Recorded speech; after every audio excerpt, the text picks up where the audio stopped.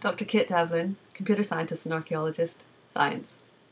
My name is Kate Devlin. I'm a lecturer in computing at Goldsmiths University of London.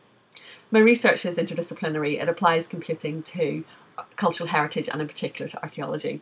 So I'm interested in a number of aspects in this area. Uh, one is how we can preserve sites and monuments digitally, especially when they're under threat of destruction, so that we can create digital surrogates. Um, another area is past environments, and I'm not just interested in recreating a 3D model of a past environment, I'm also interested in how it would have been perceived by the people who built it and used it. An example of this is the difference in perception that we have when the lighting changes. So if we think about turning on the light today in a room and it gets lit by this wonderful clear white electric light, very steady, illuminating everything in the room. But if we think about past environments, that would have been flame lit, so perhaps a candle, a hearth, or a lamp. And that gives us a very different set of conditions.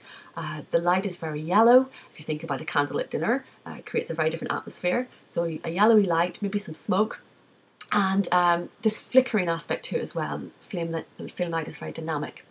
So there's a, this all leads to quite a big difference in perception, and I'm interested in how do people experience that, the change in their environment, um, how they might have perceived the colour in a place differently, how they may have perceived the architecture differently, and that's really what drives my research is understanding how people experience things in the past.